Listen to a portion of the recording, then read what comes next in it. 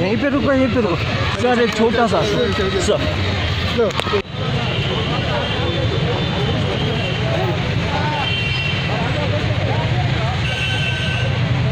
आज सारा देश नेताजी की जयंती मना रहा है।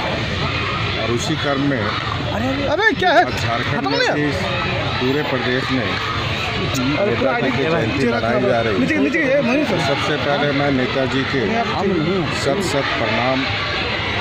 और आज हम निश्चय करें कि नेताजी के सपनों का भारत बना। भारत को शक्तिशाली बनाना भारत को समृद्धशाली बनाना। और नेताजी के सच्चे उत्तराधिकारी के रूप में। स्वयं को सिद्ध ये संकल्प आज लेने का।